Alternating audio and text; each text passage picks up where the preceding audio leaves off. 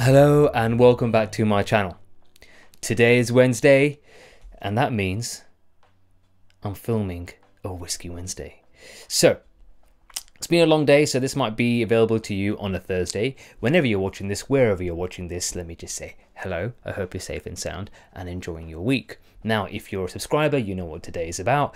If you are new to the channel, today we spend midweek having a little drink, a taste, and a chat about whiskey or an associated spirit. It could be gin, vodka, which will happen soon, uh, and uh, bourbon or anything else in between. So let's get right to it. As the title suggests, we are taking a look at a very special release, something that I touched on in my last video. We are taking a look at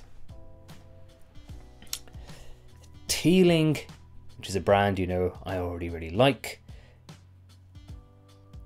But this release, guys and girls, is the opposite end of the barrel, so to speak. And what I mean by that, if you've seen last week's video, you know we took a look at Kyro gin that was cask aged in a Teeling whiskey barrel.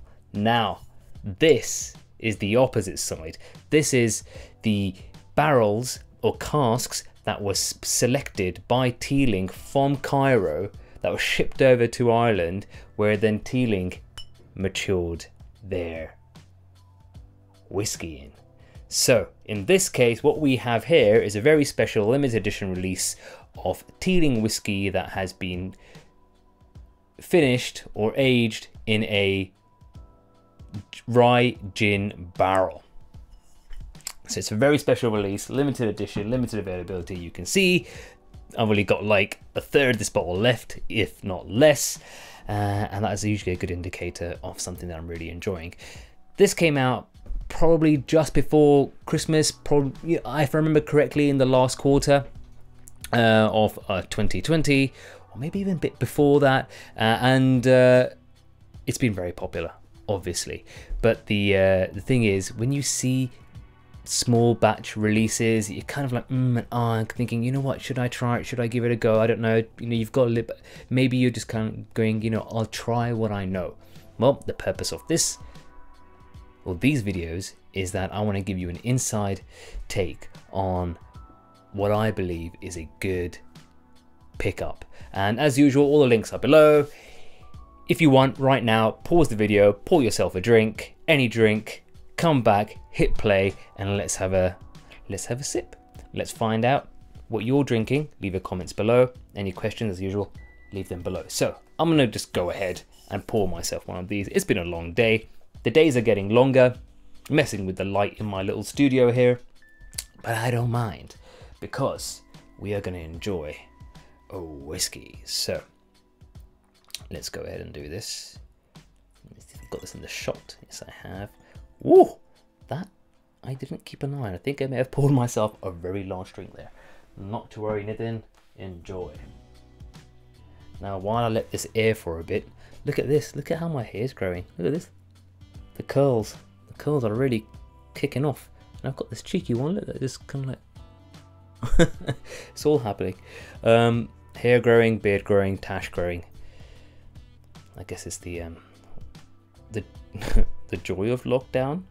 you can just carry on and uh, no need to uh, get a haircut and maybe experiment with your look a bit more. If you are experimenting with your look, have you grown out your hair? Have you grown a mustache or a beard or something like that? Or uh, the hair on your legs, armpits maybe? I don't know. What are you doing? Tell me. share. Overshare maybe. but let's check this out. Look, this is a lovely color.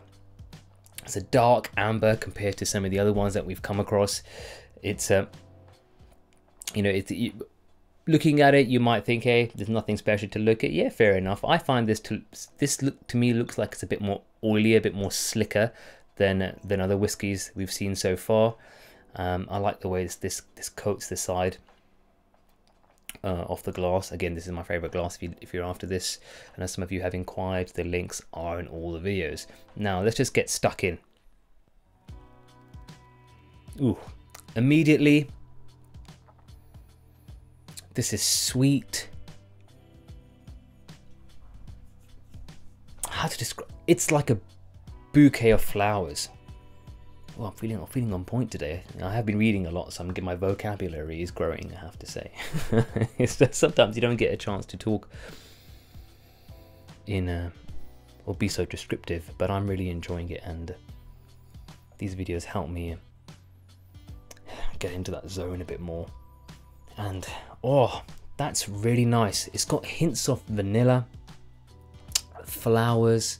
It feels like a bit something quite summery about it. Uh, these ha this has been aged. Uh, the, or the casks that were selected uh, did house Kyro gin. Uh, I believe that gin is uh, known as Koskue gin. I probably haven't pronounced it correctly, but they did go through the process of renaming their gins, the guys at Kyro, so it may not be known as that anymore. But that gin, very special gin, it's aged for about three months in an American oak cask, uh, and then they they take it out and they they work their magic on it. In this case, what they the guys at Teeling did was send over their master distiller. He went through all the casks and was like, you know what, I just want these three or four casks. He hand selected the American oak casks that were used to produce Kyro's gin, and um, they then put their own whiskey in it and finished it off. So there is, limited release. You are going to get, because of the American oak, you are going to get hints of vanilla, a light woodiness in my experience. Yeah, this develops very nicely. It's sweet. It's got almost a tropical fruit note to it as well, like um, like a mango or a pineapple. Let's just get stuck in.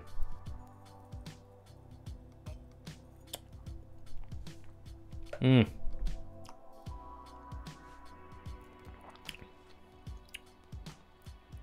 It's really nice on the palate. I know I say this about others as well, but it's not overbearing. It's not overwhelming. I believe this is a 46%. Most Teeling bottlings are bottled at 46% and it's cool to it's, it's, it's cool when it hits the palate slowly warms up starts releasing those kind of like I think a botanical note is the right way to talk about it. It starts to release this kind of like spicy flowery floweriness. And it is it is like um it is like flowers. It the more it sits you know what it is? It's like the smell. It's like the smell of charred wood with the kind of like. So it's not peaty, but it's, it's got this smokiness to it, but it's not peated. But it's got this kind of like really subtle, the nice hint of a bonfire, for example, with a layer of sweetness that runs through it with a kind of like flowery end. So it's like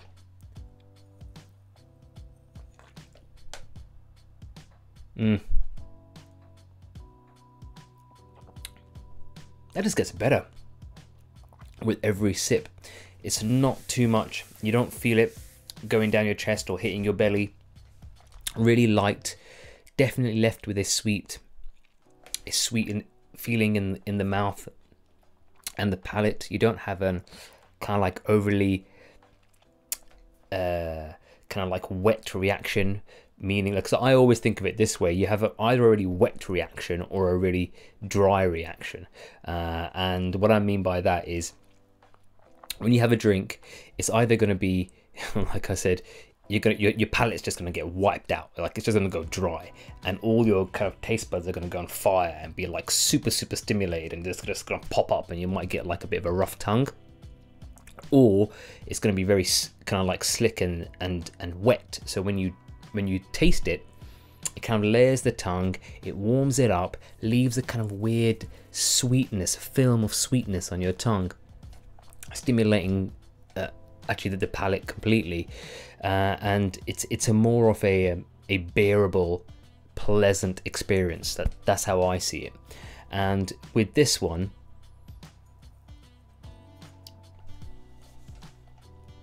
as a whiskey, damn, you're onto something really special.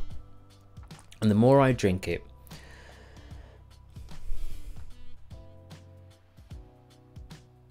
it's painting a picture and I've drank this a couple of times, but whenever I drink it, I, I have, I, I try to think it gets more robust the more I the more I drink it, and and the image that's that's now kind of like coming together like a bit of a puzzle.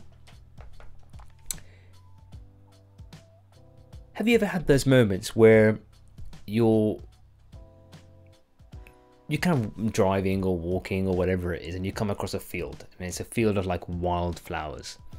It's uh, late afternoon. The sun is a little bit low, but it's nice and warm. And the scent of the kind of like sugary flowers are in the air, like a bit of I don't know, a little bit of honeysuckle or something like that. It's it's kind of like wafting around. You've got a bit of jasmine. You've got this kind of like sweet the sweet scent of uh, of of wild flowers bouncing around. It's a little bit like that, you know. It's like you you're you're on a you're on a picnic, uh, and you know someone's kind of bought you've bought the bread you've got the marmalade the jam the cheese and all that kind of wonderful stuff and then you've got this wonderful feeling uh, this wonderful smell that runs through the air and every so often you it, it, it it hits you and you're like that just smells really nice basically you know when you've when, when you're kind of growing up and someone goes you see someone on tv or the or the adverts and they go here's a flower. And they the, you know, the, the lady or the whatever she smells the flower and she's like oh flowers like roses right? Uh, and then eventually you end up smelling a flower that you probably got from the supermarket and something and you're like it doesn't really smell of anything. But but eventually when you when you go out and you go into a wild i don't know meadow or something and you eventually get hit by the scent of flowers. That feeling the the kind of heat that's kind of made the flowery oils get into the air that's when you go you know what? This is what flowers are about. That's what a flowery meadow is about. And i think they've somehow managed to capture that and put it into this whiskey because it does taste like a vanilla.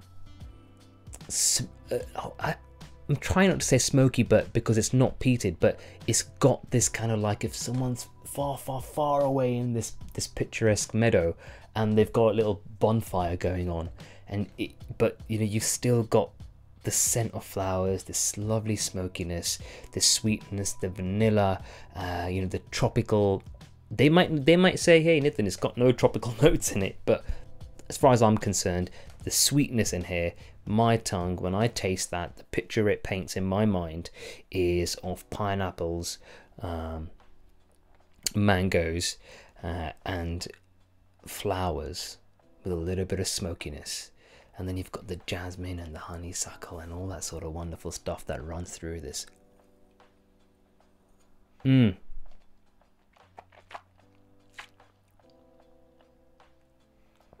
Really easy to drink. I must say I have been quite naughty with this. I have experimented a lot. Water, fizzy water, soda, whatever you want to call it, tonic, to kind of figure out, you know, what else we can pull out of it. But in my experience, drinking this neat is how it should be enjoyed. Have it with a little bit of water if you want to kind of like water down the, the strength a bit. It won't really mess with the flavor profile. Have it with a, a block of ice, not too much because it end up basically losing the whole thing. And one thing that was quite naughty, I don't usually do this, but um, I, I had this with a with a Pepsi or a cola, and the reason I did that is because I wanted to see what would happen to the flavors. And what was really really interesting is if you are partial to a rum and coke, this it almost has that same take. It almost kind of like makes your cola or your Pepsi, whatever it is, a bit a bit rummy, eh, which is really interesting.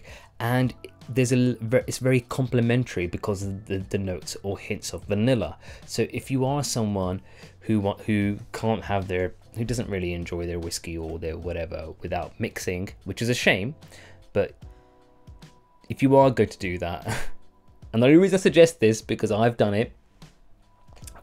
I wouldn't suggest it because this is a small batch release and it should be enjoyed as it is. But the only reason I'm talking about it is because some of my friends and family do enjoy mixing their drinks. And if you are going to mix a drink, uh, this will take your your whiskey and coke up to you know way past 100 and everyone will sip mm. jesus good. Wow. So have you tried this? Have you tried this Teeling Kyro collaboration? If you have or if you haven't if you've got questions leave the comments below. Apart from that i hope you're having a wonderful week. I'll I'll be back on Friday. I wasn't here last Friday, but I'll be back here on Friday. And uh, whatever you're doing, I hope you're safe and sound. Drink safe, be safe, and I'll see you soon. Bye bye.